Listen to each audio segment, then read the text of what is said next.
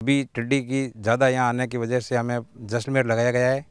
तो दिन में हमें सूचना मिली थी कि स्वरम जोगीदास का गाँव में आया हुआ है। तो हम लोग यहाँ आए गाड़ी लेके। तो दिन में ये स्वरम घूम रहा था। तो हमने इसका इंतज़ार किया भाई लोकेट किया, कब ये बैठेगा। तो शाम के वक्त में ये बैठ गया। तो फिर हमने माइक्रो से हमने ये माइक्रो से हमने इसका कंट्रोल किया शाम में। ये कंट्रोल किया उस समय ये पूरी मैटिंग अवस्था में थी और टिड्डी देने की, अंडा देने की अवस्था में थी। यदि शाम को ये कंट्रोल नहीं होता तो रात में ये अंडे दे देती और ये आगे बहुत ही नुकसान होता। तो इसको पूरे स्वार्म को हमने नष्ट कर दिया इधर।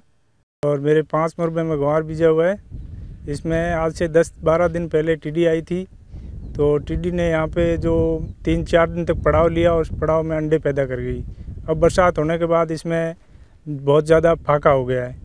अब इस फाके कंट्रोल के लिए हमने कृषि विभाग को बोला तो कृषि विभाग वालों ने हमें कोई क्लोरो फास्फोस बी सी सी बारह सौ एम डालने के लिए बोला गया है, और बहुत ज़्यादा ये फाका हो रहा है, और फ़सल को बहुत ही ज़्यादा नुकसान हो रहा है इसमें, और और भी हम इसके उपाय के लिए भागदौड़ कर रहे हैं और स्प्रे कर रहे हैं ड्रम से।